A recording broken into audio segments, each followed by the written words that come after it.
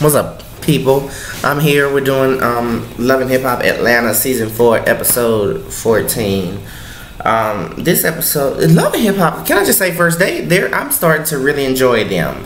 Um, by them, I mean some of them. There are still some cast members I feel can be uh, thrown off, and I would never worry about hearing from them ever again. But I I'm really enjoying what they're doing with the cast members and and their um storylines this season. And the reason why I'm enjoying them is because one, I have even though she was so irrelevant to me last season and the beginning of this season, I gave zero fucks about her. I'm actually looking forward to seeing what Kaleena's storyline is, what she's going through. Um I am. Uh, I cannot believe I'm about to say this, but she's interesting me interesting me more than anybody else right now at this point. And I think that is a great thing. Like you better get your come up girl. I'm not mad at it. I'm not mad with it at all. So basically what happens is Rasheeda and Kirk now have made uh, have fake made up, meaning they never had problems anyway. I found them on Instagram and Facebook. They were always fine, taking pictures, traveling, doing stuff together. This marriage problems from day one has been only for TV. Like them bitches ain't going through all this. Kirk ain't ever cheat on her. I mean, these bitches had a baby for crying out loud. Obviously, they was doing good. They was fucking. Uh, like, come on now. Um, fake ass auctioning off his stuff. Talking about she went to go see a lawyer. Bitch, sit down. But anyway, so they fake made up. So now Rasheeda has taken on the mantle of messy bitch because she needs to be on the show. But we'll get to that whole later. Cause I see right through you. I see right through you, fake asshole. So um let's just get the side scenes out of the way. First of all, I don't know what like Mama D, who is who was you know, making me laugh. Like I never took her storyline serious, but she makes me laugh. She ain't been seen. Um, Steve and Joseline have been having very minimal minimal scenes. So it might be true that they're filming for Love and Hip Hop Hollywood. They've been seen out there with some of the Hollywood cast. So maybe that's why they're not filming as much because they're traveling back and forth. I don't know. I'm sorry. I keep looking at myself. I look very cute today. I'm sorry. But uh, I just look very cute. But uh, I, I just lost all trains of thought on what I was. Oh, oh. So, you know, Joseline filmed with Margeaux. But first Margeaux filmed with Stevie J and she's like, you know, the, the photo shoot, this fake ass photo shoot. She's telling Stevie J, I want 10 G's. And um, if not, you can use my photos. And, and Stevie was like, I'll give you 10 seconds to get up out of here and she's talking shit and he's counting back 10 9 8 even though she's talking shit i bet i bet her ass is out there before he hit the before he hit one. Also morgan ain't got no titties and no ass.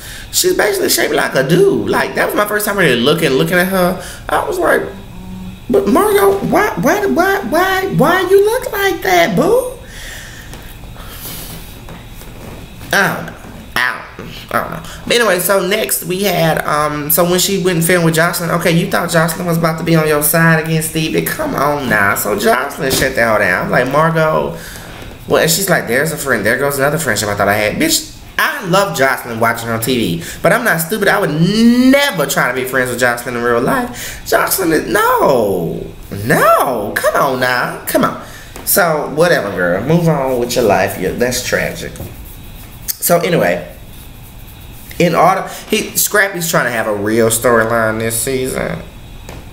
Like 13, 14 episodes in.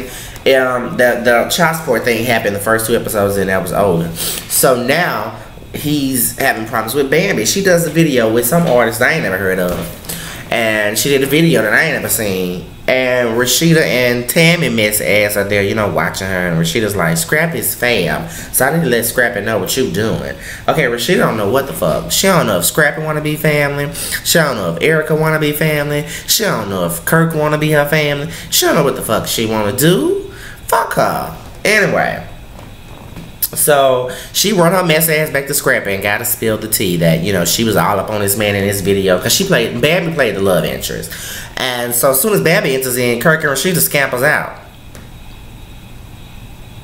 They scamper out. So, you know, Scrappy basically calls on her foolishness and she's like, oh, that's why Rasheeda old ass ran out of here, which I don't blame her.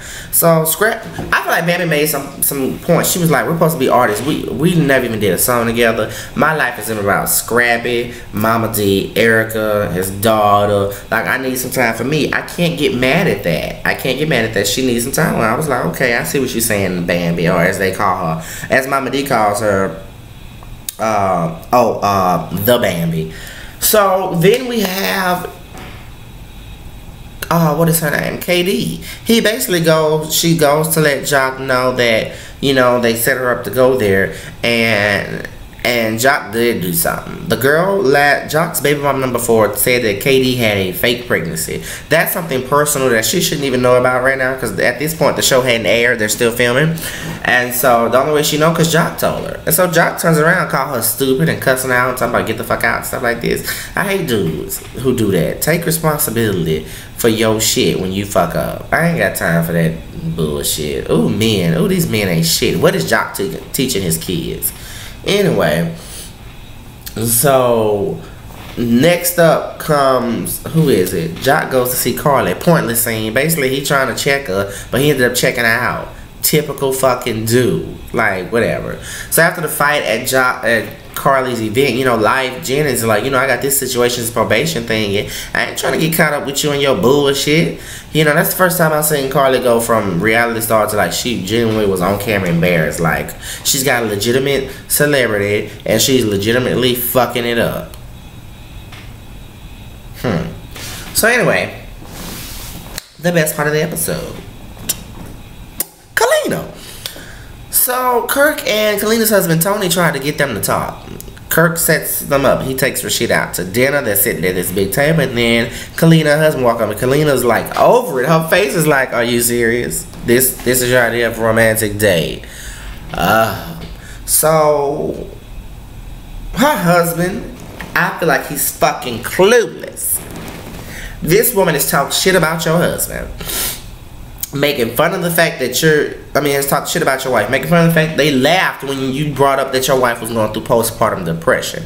They laughed when you were bringing up issues about your wife you and your wife. Yet he tells his wife I always thought Kirk and Rasheeda they were the model for how to have a great marriage. Who?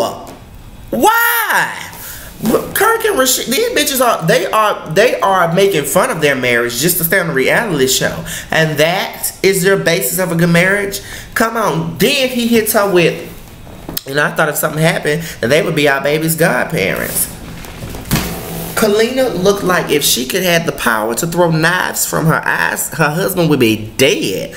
Bitch, and then Rasheeda's laughing and shit. Your friend's supposed to be going through something. I don't give a damn if she talks shit about you. Clearly, Rasheeda gives zero fucks about the girl because if you were friends for 20 plus years and she talked about you once to a bitch who clearly was talking about you first because she didn't even tell you to mad that game, you're not even going to support the fact that this woman's going through postpartum depression, that she's had a child, that she's having issues. You don't relate to that. Hello, did you not have a baby and your husband was trying to get him DNA tested? He got a DNA test on your child for a reality show. He made you look like an ass for a reality show. Yet you're laughing at somebody who's going through, you know, kind of a little bit of the same thing you're going through. Okay, whatever, bitch. Rasheeda, I have zero fucks and zero respect for Rasheeda. I really don't. I have no respect for her because of how she's portraying herself. She just basically sold her soul for reality TV. I mean, and, and, and she's talking about, you know, and that's what Kaleena's Kaleena told Rasheeda, you sold your soul. And um Kaleena, uh, Rasheeda's like, you sold your stupid, nobody's buying it. Okay, maybe she's having rough patch right now, but at one point, Kaleena was in a group. She was, you know, had number ones and was making money. She's still a successful songwriter. She's still making money. She's still, she has been on tours and stuff. That is more than what Rasheeda has ever done. Yes, Rasheeda, you're making money. You have your store, you have your hair and lipstick and clothes or whatever, but your primary thing you've always been boasting about was your music. Talking about, this might be my last album. Go where the first one at. You need a first album to get to a last album. I mean, like, I. Uh, come on now. Whatever. I don't know. It heats me up, but I like it. Not because Rasheeda, I'm I'm really loving Kaleena's storyline because you see Kaleena is genuinely hurt and she genuinely thought she had a friend and a sister in Rasheeda and Rasheeda's like, I'm about the love and hip hop. you know, whatever. And I, I used to think when the show first started, I was like, everybody said Kirk and Rasheeda was the boring couple, but they were the basis of what Love and Hip Hop is. And to compete with the other ratchets, all of a sudden, season two, they're having marriage problems when they were damn near perfect season one. Bitch, die. The season one of Love and Hip Hop Atlanta, Kirk and Rasheeda is the real Kirk and Rasheeda. The seasons two through four is the fake ass will do anything to stay on TV, Kirk and Rasheeda, basically. But uh, I'm looking forward to Kaleena's storyline. I really am. I really am. I think right now she's what pulling me in because Joseline and Stevie they've been kind of chill lately. Um, but um, Kaleena's pulling me, and I think Mona. You know, I didn't see it at first. I was like, Mona, why is she here? But I think Mona has done a great job with, you know, proving why she cast them. So. We'll see what happens on episode 15. But until then, keep being happy. It drives your haters mad. Bye.